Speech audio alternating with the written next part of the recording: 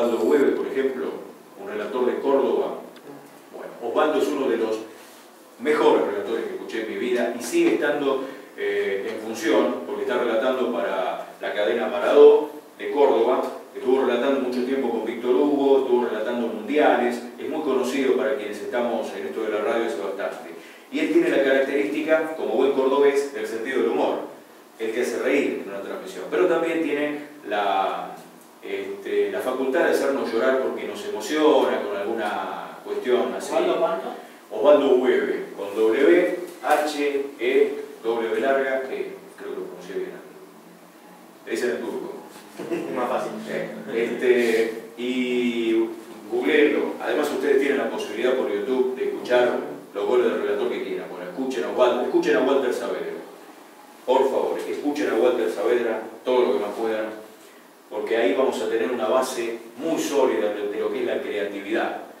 Walter tiene una creatividad sensacional. Van a prestar atención a su voz, un caño maravilloso, pero sobre todo en la creatividad. Walter Nelson también era. Walter Nelson también, claro, profe de aquí, gran relator, gran relator. Bueno, esos son relatores que tienen características propias, ¿verdad? Después hay muchos que por ahí se parecen a ellos.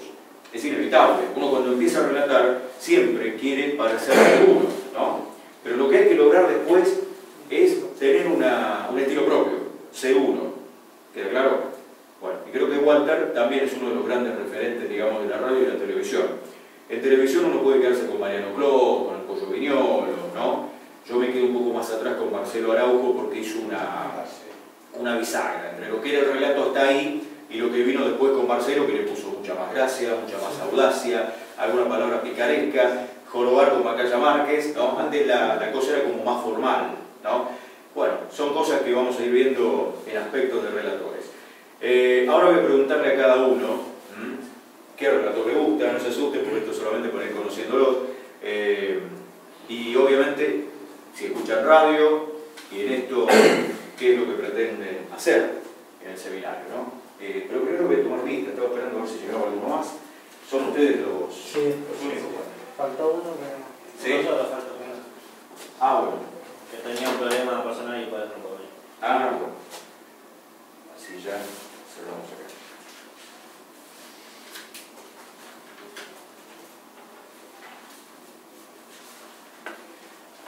Artigue, Sí, presente. Blanco, Felipe dos Santos, ¿sos de Brasil? No, no puedo venir. Ah, Rivero, Presente. Troviano, Presente. Salazar, Presente. Pardo. Para ahí, Pardo. Sí. Hay un jugador en Morón, está jugando en Paraguay. Matías Pardo, ¿qué hace?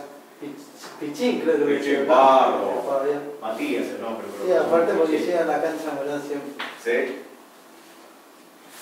Para estar rompiendo en Sí. Sol de Mayo, en Sí, sí. Paraguay. Espectacular. Bueno, vamos a empezar eh, por vos. Nombre, no apellido. Matías. Mati, así me familiarizo con los nombres. Ustedes si quieren decirme profe, chango, lo que sea más cómodo, ¿eh? ya que vamos a estar varias clases juntos, es bueno que el contacto sea lo más directo posible. Bueno, ¿qué referente tenés? ¿Qué te gusta de una transmisión, por ejemplo? ¿Qué, qué profesional? Referente más o menos Juan Matucci, no sé si lo conoces. ¿De dónde es? Creo que de Radio Continental, creo, Rivadavia. Transmite los partidos del primer y del ascenso también. Ajá, Pero ahí no es tan conocido. claro, está, está hace poco ahí. Sí, hace, no, hasta hace bastante, es pendejo, debe tener mi edad. Por eso. A veces, a Debe veces, ser chiquito. la nueva escuela, digamos. Claro, Ese nomás. Después, bueno, los demás, Paola, eso sí lo conozco. claro. Pero después. Tu referente máximo es él, No, más o menos lo sigo ahí, ¿no? Claro. Tengo un referente de decir, oh, ahí tengo un ídolo, no, no soy así. Pero más o menos lo sigo a él, los partidos y eso lo puedo ver. y dentro de la transmisión, ¿qué te gustaría ser? Relator, comentarista, No, no, juego. comentarista. Comentarista. Más o menos comentario. Está bueno. ¿Y comentarista te gusta alguno? ¿De radio o de televisión? Puede ser la torre, no sé. Ah, eh. No te convence mucho el nivel de los, de los comentaristas. No. La torre, la torre, bueno.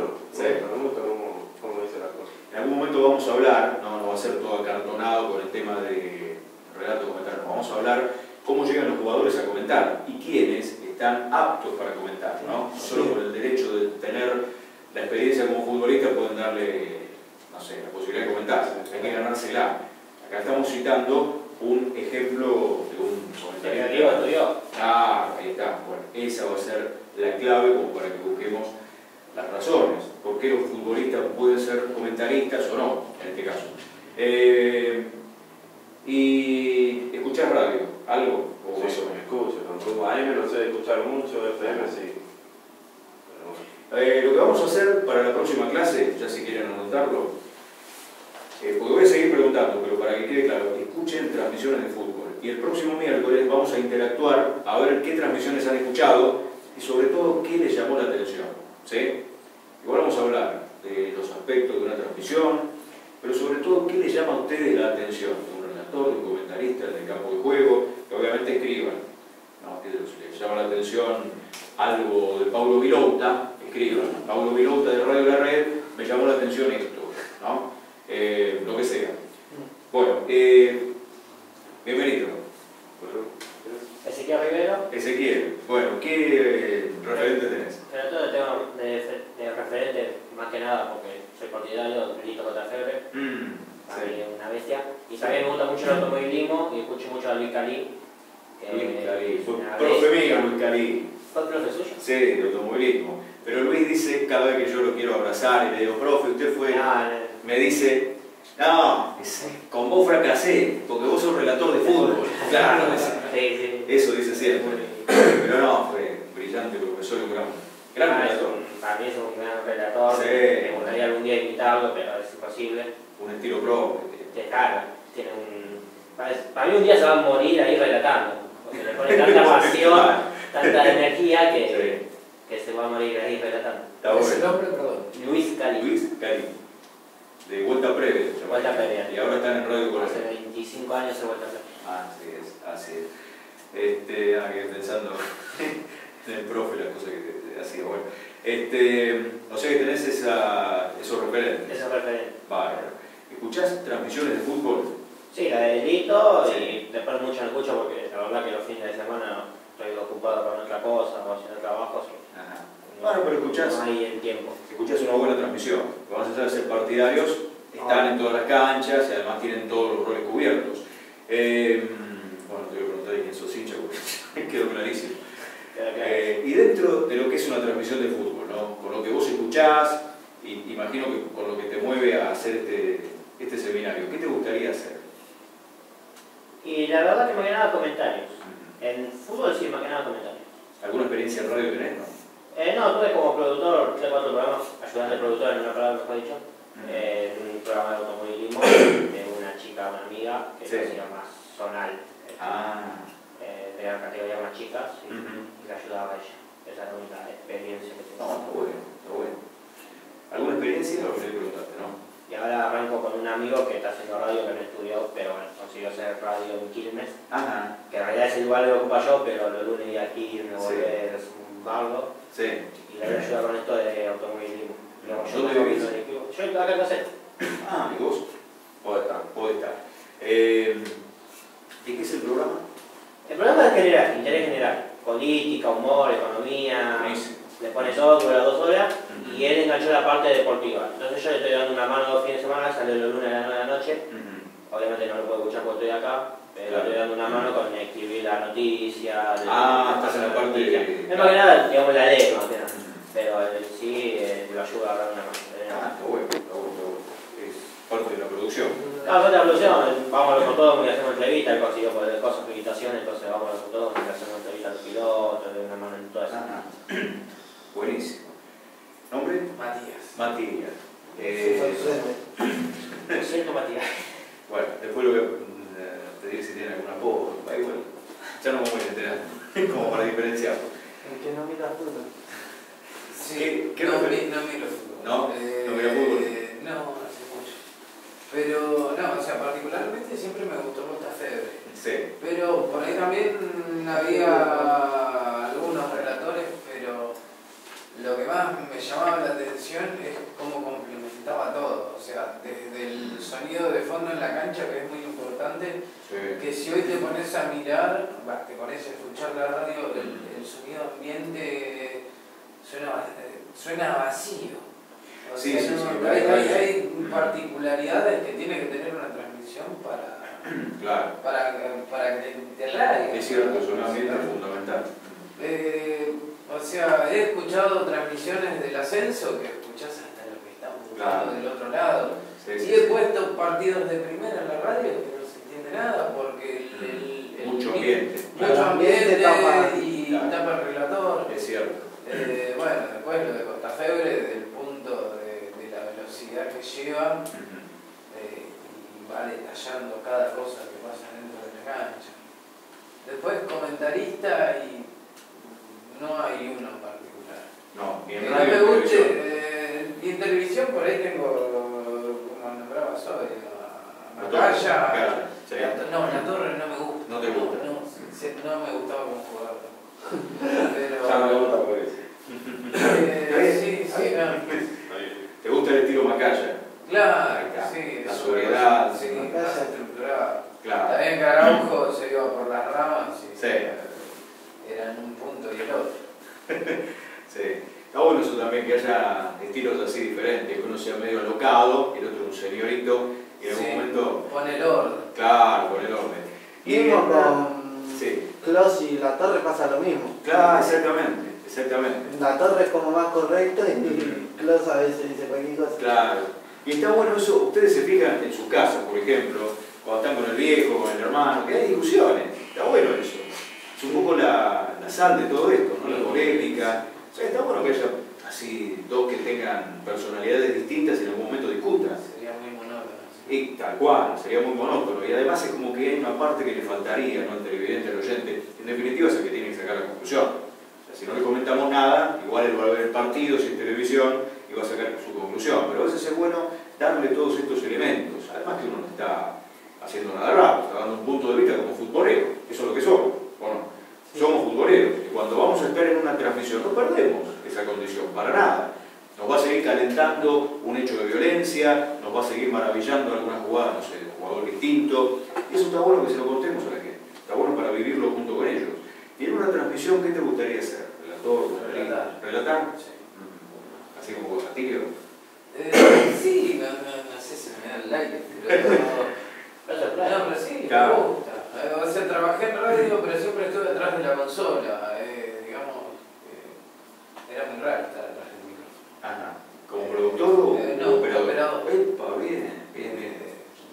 Con razón empezó con lo de los sonidos, ¿vieron? Sí. El operador, que es el que es tiene que controlar fundamental. eso, fundamental. Después, y, o sea, dentro de las transmisiones de fútbol, Claro. el automovilismo, boxeo, Ujú. que fue la primera vez en mi vida que escuché un partido de boxeo en la radio.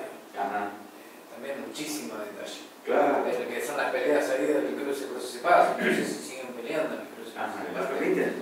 Las transmitidas de Sí. Sport también. en algún momento. Ah, Digo, claro, Vuelta claro, Plaza. claro. Sí, sí, sí, sí, sí, sí, es cierto. Y Y- también pedazo. ¿no? Sí, Ujú. eh, bueno, mi viejo es periodista, así que la, Sí. anduve metido en la cancha desde chico también. Así que, Bien, eh, bien. Creo que también por un, un poco por eso ya casi Y me claro, gusta el fútbol. Claro, claro. Pero, Despachante. no, Está bien, pero ahora en, en el seminario te vas a amigar con el fútbol, vas a Sí. tratar de relatar, eso es lo que vamos a tratar también. De que, y trate, yo sé que por ahí los primeros momentos para practicar y para tratar, ahora voy a preguntarle a cada uno si tiene una experiencia radial, si lo ha hecho aunque sea en casa como yo, empecé con esas locuras que les comenté, eh, pero siempre va a haber un pánico escénico, eso lo decía Jorge Batano que es natural. Uno cuando empieza a relatar y encima no lo hizo nunca, y están los compañeros escuchando y el profe. Entonces, del pánico escénico de quedar mal, no se va a concentrar en todo esto. Es imposible. O sea que esto viene después. Por eso les doy mi primera experiencia nefasta, como para que ustedes estén curados de espanto. Peor que yo, ustedes no me van a superar. Eso se lo puedo asegurar.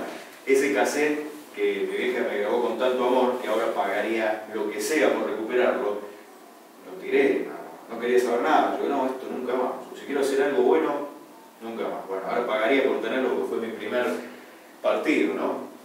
Pero lo que voy es a esto, que ustedes después se van a ir sacando solitos los miedos, van a concentrarse solo en esto, ¿sí? Y va a salir, como yo siempre digo, cuando uno aprende a manejar, cuando va a hacer los cambios, mira la palanca, ¿no? Uh, la primera primera, acá, la segunda, y no tiene que prestar atención al camino.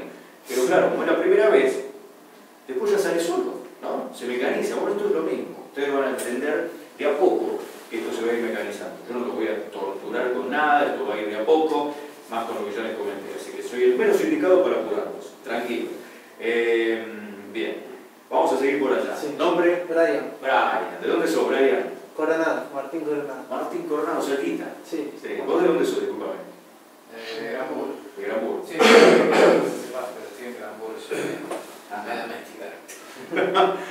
Eh, de Martín Coronado. ¿Y quién te gusta de los relatores que escuchás? Los relatores también, Costa Febre de radio y Ajá. de Paoli, y bueno, también hace radio. Ajá. Son los dos que más me gustan. Los dos que más te gustan. Sí. Bien.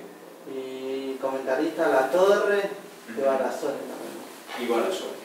Por ejemplo, eh, hablamos con los que gustan de Costa Febre, así como relata, de la fuerza, de la rapidez, ¿no? ¿Alguna característica más le encontrás a Tirio o más o menos coincidencia? También que tiene bastante descripción tiene también. Bastante, sí, señor, tiene bastante descripción. Goles que quedan. Obviamente porque yo también soy de River y bueno, que hizo, ¿Hay relató, uno, ¿Hay uno de Brasil? Eh, eh, relató goles que quedaron en la historia. Totalmente. Y el descenso también, creo que Sí, todo el mundo. También.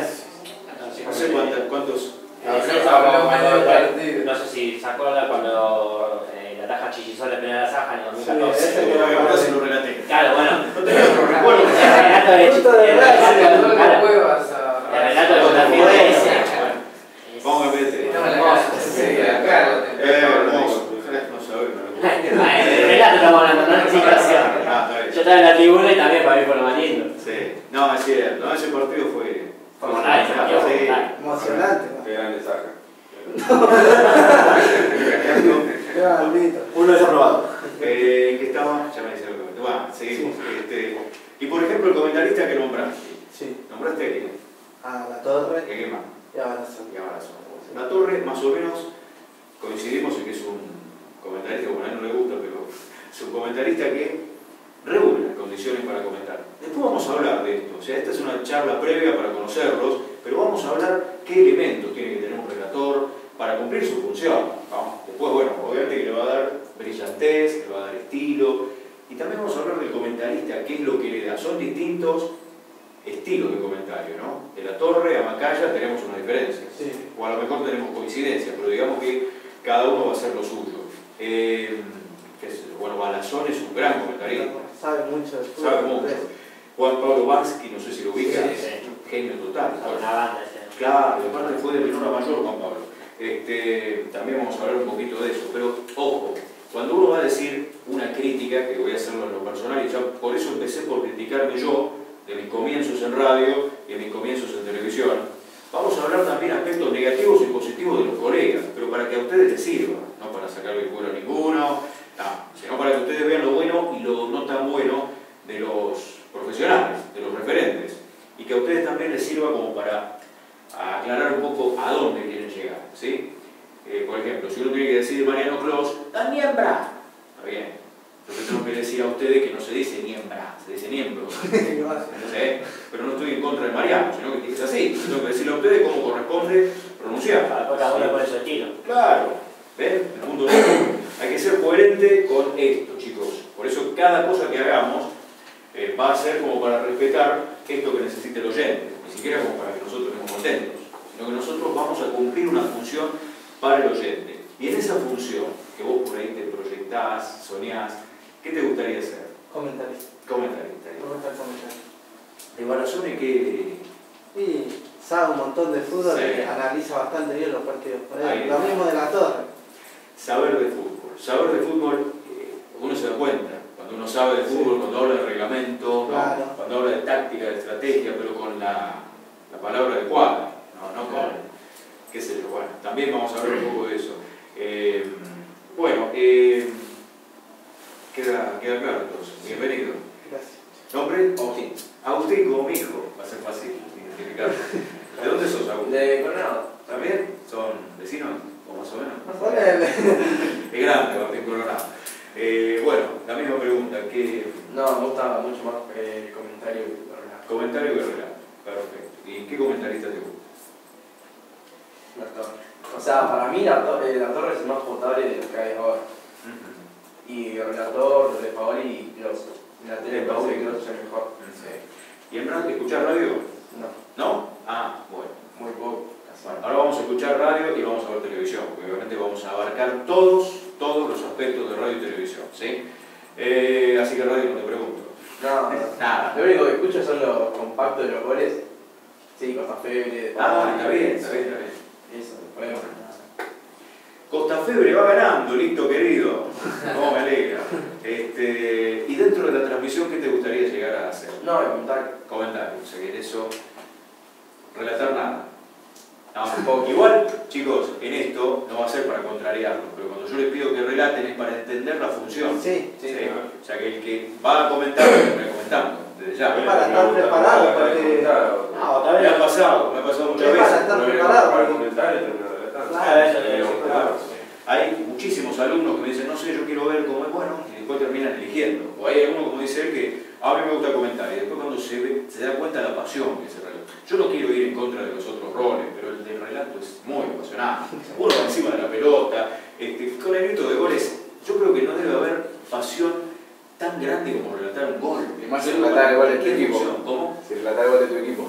Uh, no sabés. Es una especie de hincha porque Sí, sí, sí, mira sí, el grito de gol le sale es, este, es nada. como decía un expresidente, es ir a la estratosfera, ¿viste? Y ahí, no sé, es, es una dimensión conocida por nosotros nomás. Porque hay gente que nos mira y si no entiende nada de fútbol va a decir, este está loco, mirá cómo grita, es fútbol nomás, no, no es para tanto.